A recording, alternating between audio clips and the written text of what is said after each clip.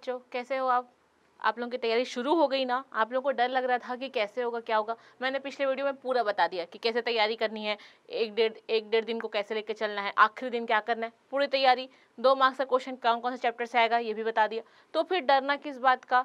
दो मार्क्स, तीन मार्क्स, चार मार्क्स, पाँच मार्क्स छः मार्क्स, जितने हैं, क्या करना था हमको? अलग अलग भागों में बांटना था, कर लिए। समझना था कि कैसे कितने मार्क्स लिखने वो भी कर लिए, है ना? तो वेटेज क्या है? छः मार्क्स पाँच मार्क्स का, है ना? छः छः बारह बारह, दस बाईस मार्क्स फिर वन मार्क्स का क्वेश्चन फिर दो, तीन, चार ऐसे जाना था। तो आपने पूरा सीक्वेंस बना लिया कि भैया मुझे कैसे कैसे पढ़ना है ना? इस डेढ़ दिन में क्या करना है आपको? इनको पूरा पढ़ के लिखना की कोशिश करना है। उसके बाद नेक्स्ट डे क्या करना है भैया? आखिरी दिन में हमें सोलह तारीख को, सोलह तारीख को क्या करेंगे? हम सब क्या करेंगे? उसको पूरा एक बार रिवाइज करेंगे।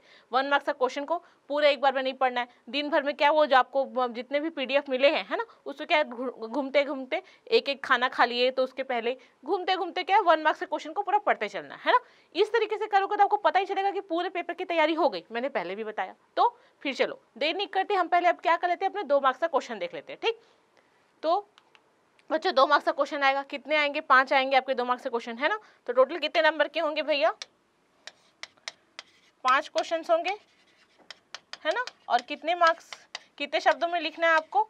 तीस शब्दों में लिखना होगा, ठीक है? है ना? तो इसको क्या है? पूरा पूरा आपको एकदम लंबा चौड़ा आंसर नहीं लिखना है। अगर दो कारण पूछा है तो सिंपल सा दो लाइन में दो कारण लिख देना है। दो नाम दो नाम लिख दो। इसमें पूरा आपको नहीं सोचना कि पूरे तीन, तीस शब्द लिखने हैं। नहीं, इसमें क्या है? वह शब्द सीमा तीस होनी चाहिए। मतलब तीस शब्दों के अंदर आपको लिखना है। अगर सिर्फ़ दो नाम बोला है, जायद फ़सलों के दो नाम तो आप क्या? तरबूज, खरबूज।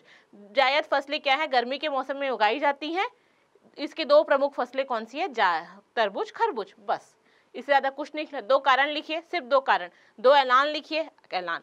इस तरीके से आपको लिखना है। पूरा बड़ा बड़ा आंसर नहीं। दो मार्क्स के क्वेश्चन में जितना छोटा अच्छा, अच्छा आंसर लिखोगे जो सामने चेक करने वाला अच्छा दो इतना छोटा। ठीक है ठीक। तुरंत पढ़ेगा। और दो ही मार्क्स का तीस शब्द है क्योंकि शुरुआत वहीं से करोगे जैसे मैंने बताया था। आप एमसीक्यूज बनाओगे फिर दो मार्क्स के क्वेश्चन में आओगे है ना? कचरा टाइप का आंसर लिखे वहीं से उनका दिमाग सटकेगा। दिमाग सटका मतलब पूरा आंसर आपका आगे वाला तो फिर पढ़ने में ही उस कंझाएगा, है ना? तो क्या है तो दिमाग ही कचरा हो जाता है, कहीं जा रहे हो अच्छे मन से और दिमाग कचरा हुआ तो पूरा दिन भर खटर खटर लगता है ना? वही, आपका चेक करने वाला, आपकी कॉपी चेक कर रहा है और उसको दो मार्क्स से क्वेश्चन से ही अड़गड़बड़ हो गया कि आपने सही से नहीं लिखा, आपने आंसर सही नहीं दिए तो क्या वो पूरा आगे फिर चेक करने में उसका दिमाग ही चकरा जाएगा? इसलिए दो मार्क्स का क्वेश्चन बहुत अच्छे से लिखना है, ठीक है? इसलिए क्या, पहले मैं दो मार्क्स का क्वेश्चन करा रही हूँ, उसके बाद मैंने क्या कहा था, छह मार्क्स का क्वेश्चन कराऊँगी, ठीक है? चलो, दो मार्क्स का क्वेश्चन पहले पूरा देख लेते हैं भाई। देखो, ये जैसे हमने बताया था, राजा, मंत्री, सिपाही। तो सिपाही अध्याय कहाँ से, जहाँ से दो दो क्वेश्चन दो दो मार्क्स से क्वेश्चन आने वाले थे? तो ये क्या था? हमारे सिपाही अध्याय, ठीक है? तो इसमें इकाई एक, संसाधन विकास विकास की समझ और भूमि संसाधन, ये तीन थे, ठीक है बच्चों? उसके बाद क्या, इकाई चार, कृषि, दो विश्व युद्ध के बीच रूसी और मुद्रा साग तो दो मार्क्स का क्वेश्चन यहाँ से आएगा एक, ठीक? इकाई नौ नौकतंत्र सामाजिक आंदोलन, अधिवास, वैश्वीकरण तो यहाँ से दो मार्क्स से क्वेश्चन आ सकते हैं। इकाई पाँच खनिज संसा जो दो विश्वविद्यालय के बीच जन्म सरकारी बजट तो यहाँ से दो मार्क्स तो जितने क्वेश्चन मुझे लगते थे कि दो मार्क्स के क्वेश्चन यहाँ से निकल सकते हैं, या कुछ क्वेश्चन ऑफ़ सेट्स मैंने निकाले हैं, उसको अच्छे से देख लो। चैप्टर्स को पढ़ना है। ऐसा नहीं बोल रही हूँ कि सिर्फ़ इसी वीडियो को देख के, लेकिन एक शॉर्ट फॉर्म है कि अगर आपको तैयारी नहीं हुई है, या आपको क्विक रिविजन है ना? रिविजन क्या है बच्चों? रिविजन हम कर, पहले कर चुके हैं, ठीक? अभी क्या करना रिकॉल तो मैं इस क्वेश्चन में आपको क्या करूँगी? रिकॉल अच्छा ये पढ़ा था, ये पढ़ा था, ये पढ़ा था। हाँ ठीक है। इतना पढ़ लिया, ठीक है। इसमें से क्वेश्चन आएगा, मैं आंसर दे दूँगा, ठीक? चलो। तैयारी, हम अपने आंसर्स पे आते हैं।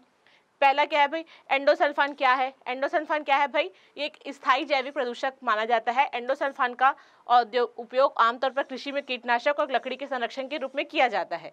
मानव स्वास्थ्य और पर्यावरण पर इसके हानिकारक और जहरीले प्रभाव के कारण इसे विश्व स्तर पर प्रतिबंध कर दिया है। ये क्या है? हमारा पहले अध्याय से है, ठीक? तो इतना आपको आंसर लिखना होगा। एडोसल्फान क्या है? एक स्थायी जैविक प्रदूषक है, जिसे आमतौर पर कृषि में कीटनाशक, जीवनाशक के रूप में उपयोग किया जाता है, लेकिन इसके पर्यावरण प्रभाव के कारण इसे क्या है? विश्व स्तर पर बंद कर दिया गया ठीक? इतना लिखना है। चलो, आगे आ जाओ मेरे बच्चों।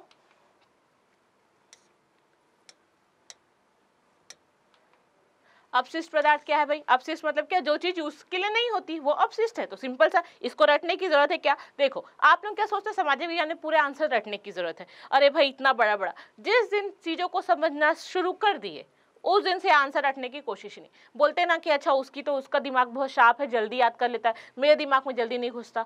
घुस, दिमाग सबके पास उतना ही होता है ना? कोई बाहर से ऐसा लगा के नहीं जाता है, उसके पास एक्स्ट्रा 200 सौ का नहीं देके जाता, झटका कि उसका दिमाग ज़्यादा बढ़ जाता है। वो होता क्या है कि उस चीज़ों को रिकॉल करने की शक्ति उसने अपनी बढ़ा लेती है। और वो कैसे कि वो चीज़ों को देखता है। अच्छा अपशिष्ट पदार्थ, अपशिष्ट पदार्थों को ऐसा होता है। कचरा देखा, कचरा क्या होता है भाई? लोगों ने छोड़ दिया तो वही कचरा तो उसी की परिभाषा लिखना है। जब ये चीज़ें आप समझ जाओगे तो आपको आंसर रखने की ज़रूरत नहीं होगी बच्चों, ठीक है? तो चलो देखो अपशिष्ट पदार्थ क्या है?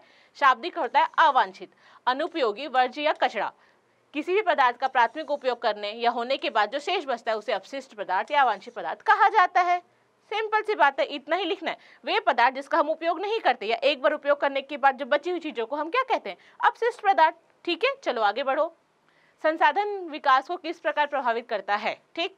संसाधन हमारे हमें विकास करना है तो किसकी ज़रूरत है? संसाधन की। क्योंकि हम संसाधन का उपयोग करके कहते हैं, घड़े, घर बनाते हैं, मशीन लगाते हैं, जो भी। संसाधन बनाम विकास का चलता रहता है ना? इसलिए क्या था? संसाधन और विकास दोनों के भी क्या है? संबंध है, ठीक? तो आपको कैसे बताना भाई इसका आंसर? प्राकृतिक संसाधन विकास के मूल आधार हैं, ठीक? कृषि, खनन, निर्माण, ऊर्जा के क्षेत्र में उत्पादन प्राकृतिक संसाधनों पर निर्भर है। चाहे कृषि करो, उत्पादन करो, कुछ चीज़ें नई बनाओ, कुछ भी करो। सब संसाधन पर डिपेंड है। अर्थव्यवस्था के अन्य क्षेत्र भी विभिन्न स्तरों पर प्राकृतिक संसाधनों पर निर्भर है। बस, इतना ही तो लिखना है कि प्राकृतिक संसाधन, विकास दोनों एक दूसरे के संपूरक है, जहाँ हमें विकास की आवश्यकता होती है, हम संसाधनों पर डिपेंड करते हैं। जैसे कृषि हो, उत्पादन क्षेत्र हो, उद्योग क्षेत्र हो, सभी क्षेत्र क्या है? हमारे संसाधनों पर डिपेंड है। इसी कारण अर्थव्यवस्था का मुख्य आधार क्या है? संसाधन है। इसलिए हम क्या है, जो विकास है, वो संसाधनों पर क्या होता है? उत्पादन होता है, संसाधनों पर ही क्या डिपेंड होता है? इसी आंसर्स को आपको लिखने हैं। चलो, आगे आ जाओ बच्चों।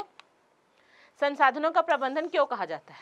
क्यों क्यों आवश्यक है? क्यों आवश्यक है भाई? क्योंकि चीज़ों को अगर अतः उपयोग करोगे तो वो एक समय के बाद समाप्त होनी है ठीक है? तो क्यों आवश्यकता है भाई? चलो, आप ही लोग बता दो, क्यों आवश्यकता है? ताकि भावी पीढ़ी के लिए बचा सके, प्रदूषण को बचा सके, अपने उचित उपयोग कर सके। इन्हीं चीज़ों के लिए संसाधन का प्रबंधन आवश्यक है। आप बताओ, रटने की ज़रूरत है? नहीं है। चलो आंसर पढ़ लो।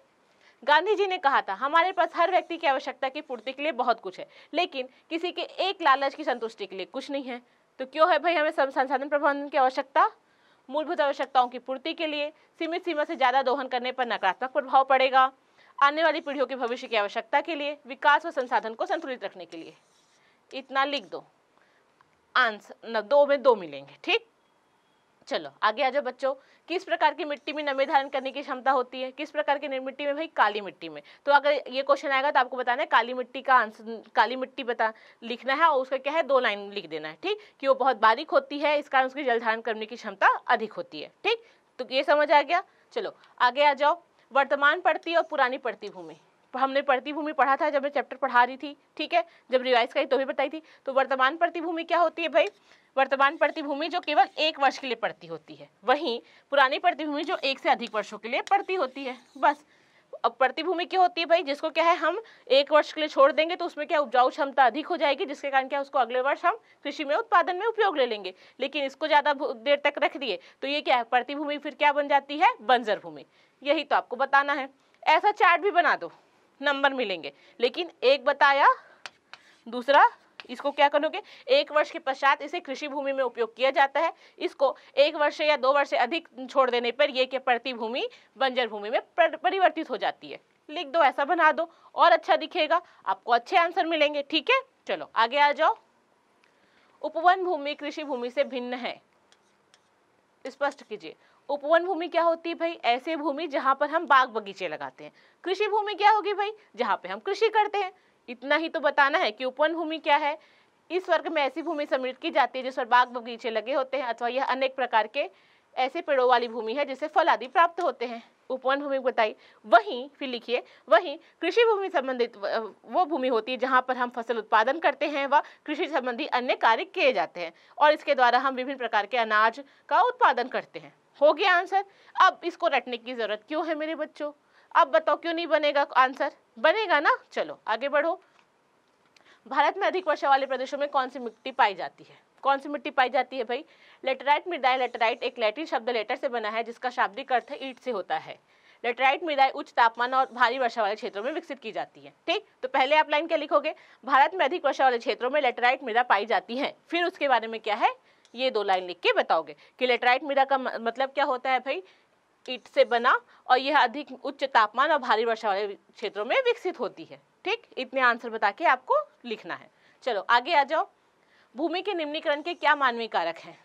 निम्नीकरण मतलब क्या है? उसकी गुणवत्ता में कमी हो जाना। अगर उसमें फ़सल उत्पादन हो रहा है कई वर्षों से तो उसका क्या है? उसकी उर्वरता क्षमता कम हो गई, जिसके कारण उसका निम्नीकरण हो गया। इसी प्रकार क्या है? भूमि की जो क्षमताएँ होती है, किसी चीज़ को उगाने की, ग्रहण करने की, वो क्या होती है? एक कुछ समय के बाद खत्म हो जाती है। उसी को क्या कहते हैं? हम निम्नीकरण। ठीक है? चलो पढ़ो। जब किसी क्षेत्र में भूमि की क्षमता पहले से कम होने लगती है तो हम उस को क्या कहते हैं? निम्नीकरण कहते हैं। उसकी क्षमता। क्या होते हैं? हम अभी क्या जवान है है ना?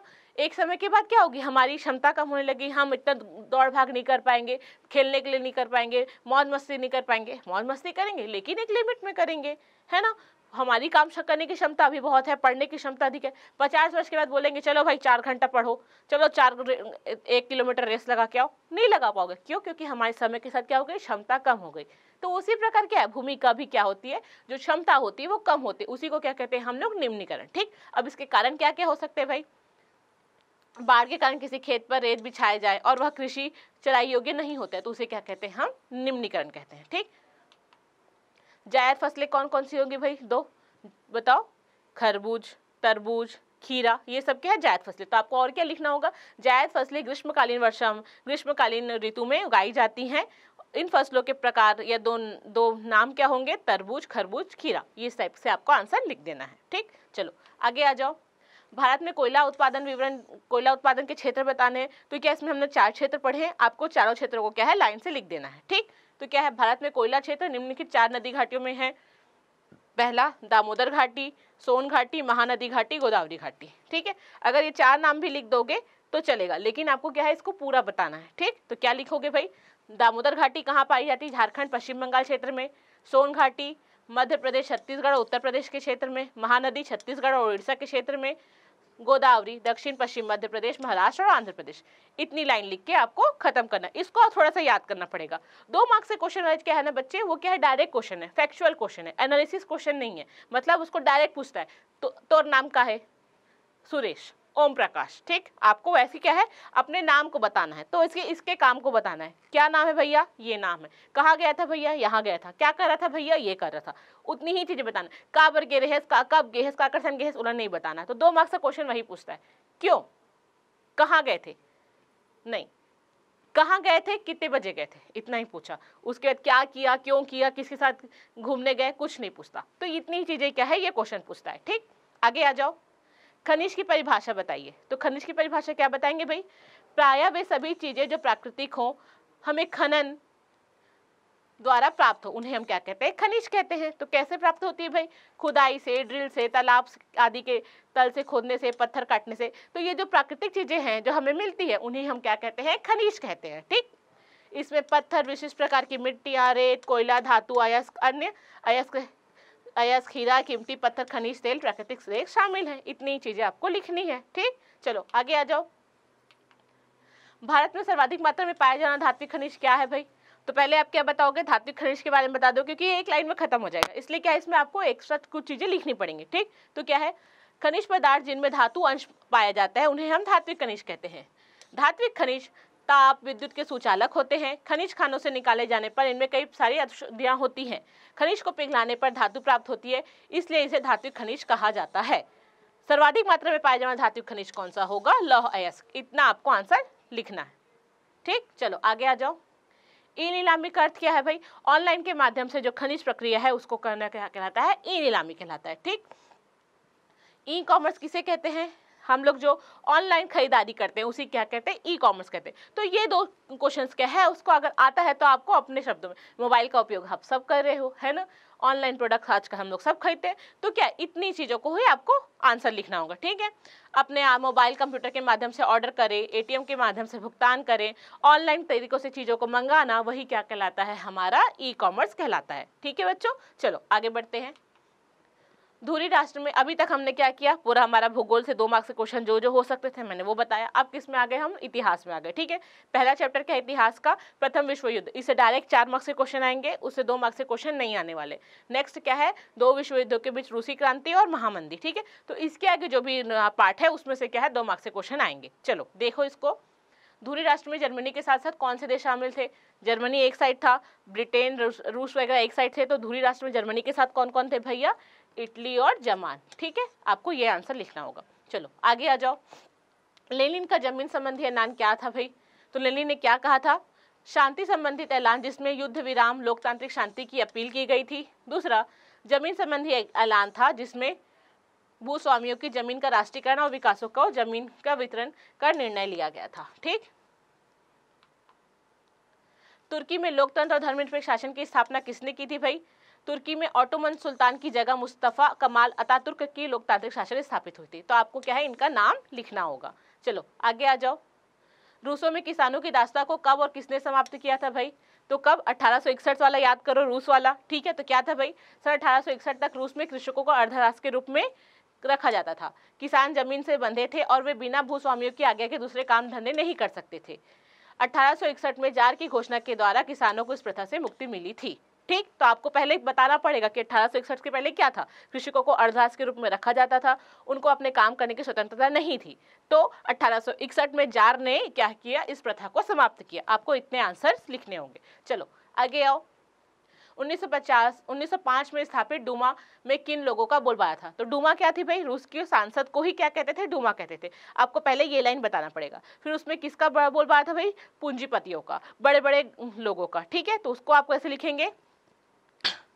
राजनीतिक सुधारों की घोषणा के साथ रूस में भी चुनी हुई संसद की स्थापना हुई, जिसे क्या कहते हैं, डूमा। लेकिन चुनाव एक जटिल अप्रत्यक्ष तरीके से होता था, ताकि डूमा में अधिकतर संपत्ति वाले ही लोग पहुँचे। जार डूमा के किसी भी प्रस्ताव को ठुकरा सकता था, उसका अधिवेशन भी जार अपनी सुविधा पूर्वक बुलाता था। तो किसका सा, उसमें क्या अधिकार था भाई? संपत्ति वाले लोगों का ही अधिकार था। तो आपको इतनी चीज़ें वहाँ पर लिखनी होंगी, ठीक? चलो, आगे आ जाओ। लेनिन का जन्म फिर से आ गया। रूस की बोल्शेविक क्रांति कब और क्यों हुई थी? तो कब हुई थी भाई? रूस की बोल्शेविक क्रांति अक्टूबर उन्नीस में बोल्शेविक पार्टी के नेतृत्व में जार शासन को खत्म करने के उद्देश्य से हुई थी। क्यों हुई थी? जार शासन को खत्म करने के लिए। कब हुई थी? 1917 में। किसके नेतृत्व में हुई थी भाई? बोल्शेविक क्रांति, बोल्शेविक पार्टी के नेतृत्व में हुई थी। ठीक? चलो, आगे आ जाओ। मुसलोनी ने इटली में कौन सी पार्टी बनाई थी भाई? फांसीवाद पार्टी बनाई थी। तो बच्चों, इसमें फांसीवाद के बारे में क्या है? आपको दो लाइन लिख देना है। इतना आंसर तो बताना है। उसके बाद क्या करोगे? फांसीवाद के संबंध में आपको बता देना कि फांसीवाद क्या था? भाई, एक विचारधारा थी जो कि इसका मतलब क्या था? लकड़ियों का गट्ठा तो उसी उसी प्रतीक को दिखाने के लिए क्या था? मुसलिनी ने फांसीवाद पार्टी का निर्माण किया था। ठीक? इतने आंसर आपको लिखने होंगे। चलो, आगे आ जाओ। हिटलर और मुसलिनी की रेडियो में क्या समानताएँ थी? दोनों क्या थे भाई? लोकतंत्र विरोधी थे। दोनों एक पार्टी के नेतृत्व के समर्थक थे। मतलब पूरी पार्टी में सिर्फ़ एक नेतृत्व होगा और उसी की सब बातें मानेंगे। दोनों मध्यम और निम्न वर्गों के विरोधी थे। वो सिर्फ़ समझते थे कि उच्च वर्गों को ही अधिकार मिलने चाहिए, निम्न वर्ग तो उनको कोई काम मतलब ही नहीं है। उनको सिर्फ़ और सिर्फ़ काम कराना चाहिए, ठीक है? तो ये क्या थी? दोनों की रैलियों में समानताएँ थी। चलो, आगे आ जाओ। हिटलर की विदेश नीति के उद्देश्य क्या थे? पहला, हिटलर क्या आया, ठीक है? उसने क्या किया?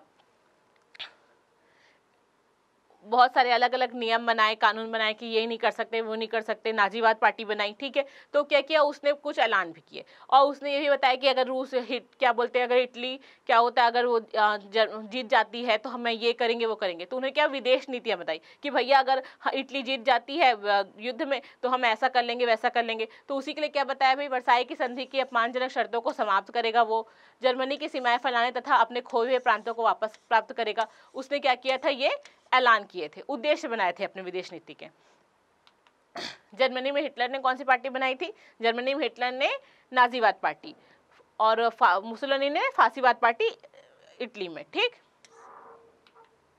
अगर जर्मनी में युद्ध में जीत जाता तो दुनिया पर उसका क्या प्रभाव पड़ता?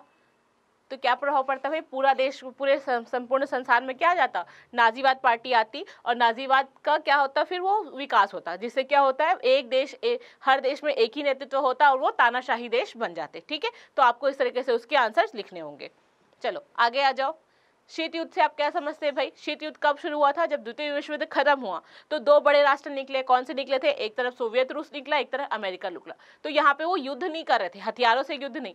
अपनी आंतरिक नीतियों के द्वारा एक दूसरे देश को सहारा दे रहा है, कोई दूसरे देश को कुछ भेज रहा है, किसी देश को अपने साइड ले रहा है। तो यही नीतियाँ क्या की थी? शीत युद्ध थी कि आप बात नहीं करो लड़ाई नहीं कर लेकिन आप बातों बातों में क्या कर रहे हो? एक दूसरे को गिराने की कोशिश कर रहे हो, एक से ऊपर आने की कोशिश कर रहे हो। तो शक्तिशाली राष्ट्र बनने की प्रक्रिया ही क्या थी? शीत युद्ध थी, ठीक है? तो पढ़ो।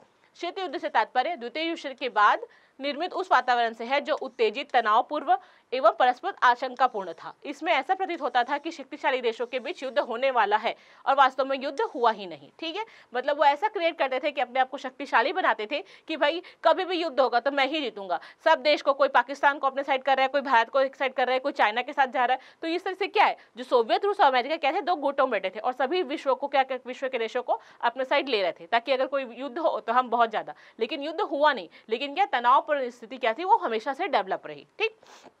आगे आ जाओ, उपनिवेशवाद क्या है?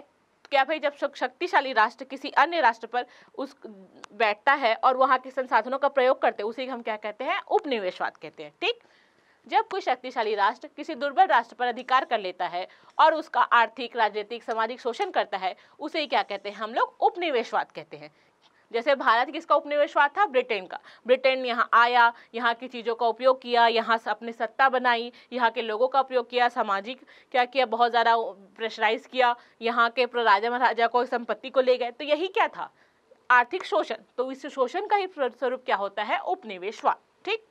उपनिवेशवाद मातृ देश साम्राज्य का भोग साम्राज्य का भोगा भाग होता है, अतः उपनिवेशवाद का साम्राज्यवाद से घनिष्ठ संबंध होता है। मतलब साम्राज्यवाद ही क्या है? उपनिवेशवाद। साम्राज्य का मतलब क्या होगा?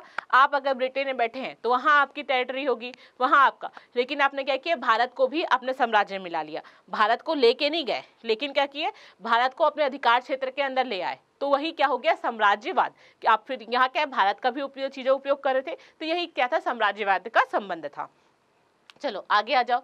साम्राज्यवाद क्या है? सेम जो आपको उपनिवेशवाद में लिखना है, वही चीज़ें क्या है आपको साम्राज्यवाद में लिखनी है। उपनिवेशवाद की स्वतंत्रता के पक्ष में कौन कौन देश थे भैया? कौन कौन थे जो पहले उपनिवेशवाद बनाए थे? वही क्या थे अब वो क्या थे? उपनिवेशवाद को स्वतंत्र करो। तो इसमें कौन कौन थे भाई? संयुक्त राज्य अमेरिका और रूस थे। और यही दोनों क्या थे?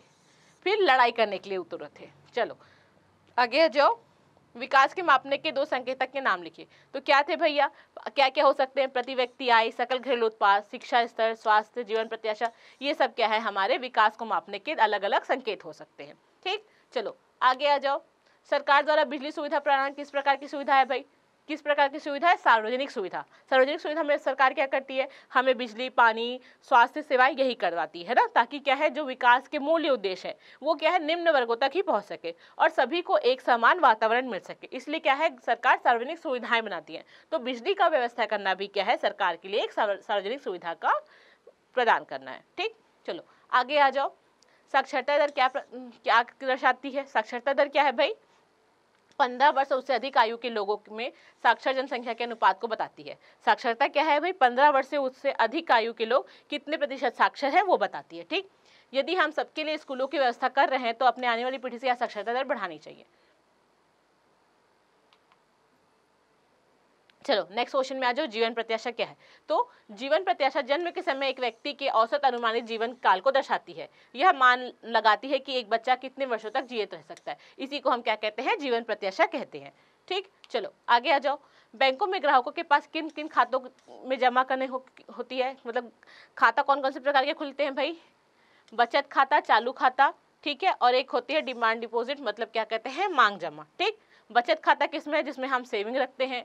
चालू खाता क्या है? जो व्यापारी होते हैं, कभी पैसा निकाल रहे हैं, कभी डाल रहे हैं तो उनको क्या कहते हैं? चालू खाता, ठीक? तो आपको इन दोनों के बारे में मेनली बताना होगा, ठीक?